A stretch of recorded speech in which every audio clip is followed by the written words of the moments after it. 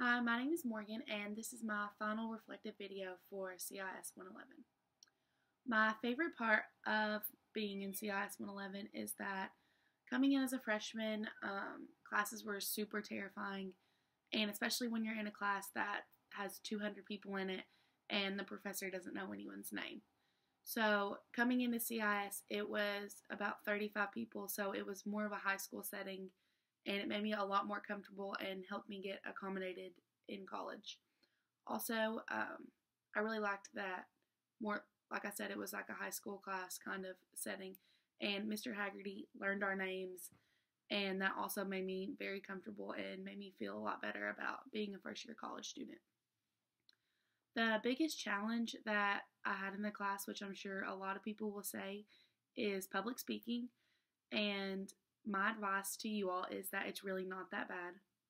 But rehearse, hit your times, and you'll improve so much throughout the class. You don't even realize it. And let's see. Uh, to be successful in this class, you get what you give.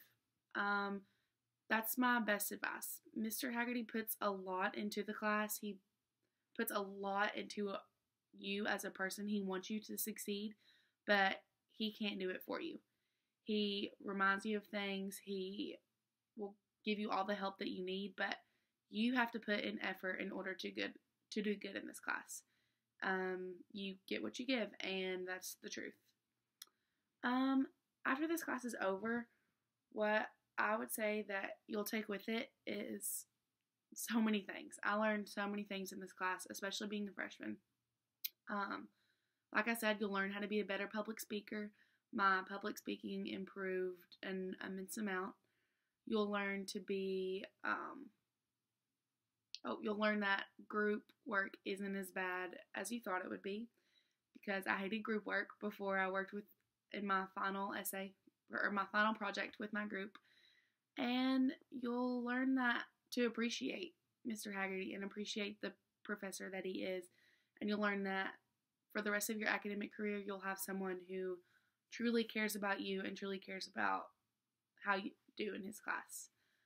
But um, overall, um, it was a really good, really great class, and I really enjoyed it. And I think all of y'all will too.